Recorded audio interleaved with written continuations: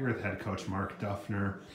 Yeah, uh, a uh, a tough one, just obviously just with the field conditions. First off, uh, icy, uh, snow, cold. Uh, just talk about what your guys did to be able to battle out here, and you know they they made it a game up until the end. Unfortunately, U-Mary came away with the win. Yeah, you know, uh, challenge the guys here at half here, to just uh, play the last 30 minutes out and just uh, play one play at a time here and uh, get, you know, give, give it everything they had. You know, we started off that second half. Uh, um, being able to get a score uh, right away on that first drive, was, which is something that we talk about and really emphasize. So thought the tide was turning there a little bit. You know, unfortunately, uh, Mary was able to answer. But yeah, field conditions uh, were certainly tough here today and uh, took you know some of the game plan out, of, out of the out of play for us here today.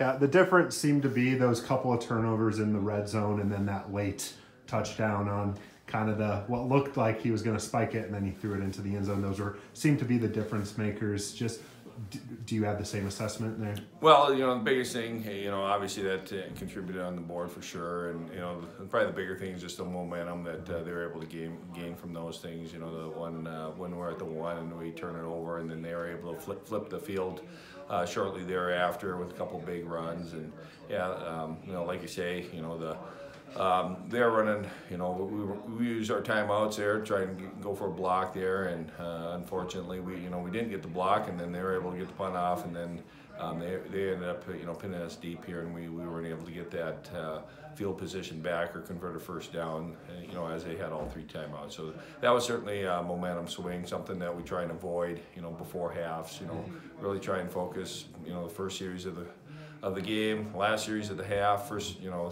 uh, first series of the third quarter, and the you know obviously the last uh, possession of the game. Hopefully, we're, we're in a situation where we have an opportunity to put some points on the board. Jeremy Newman came in in a tough spot and did a lot of good things for you guys offensively. Just talk about you know a, a leader for you guys being able to step in and do some really nice things for you. Yeah, uh, Jeremy's uh, been a great leader for us here in the off season. You know, he was here all all of, or all or most of summer, and you know he's voted a captain, and you know he's one of those guys that you know uh, leads by example, but also does uh, things uh, vocally as well. He'll step up and um, you know put guys in, in their place uh, as needed. Um, you know, he came in and was able to get some plays, made some nice passes, some nice runs, so he was able to get a spark there um, when he came in.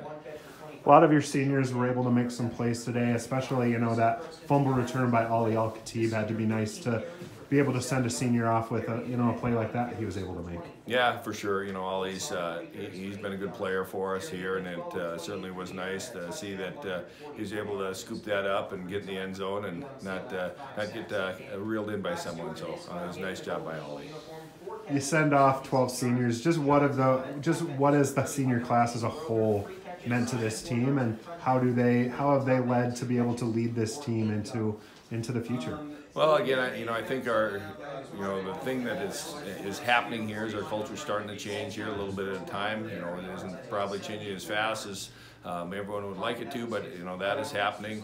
You know th- those guys. You know uh, what they've done. Some of those guys have raised raised the bar. They've set some records. You know they raised the bar for guys that are following in their footsteps here. So hopefully that'll elevate uh, you know those guys' play here down the road, and then ultimately that should hopefully elevate the play of, of, of the team as a whole.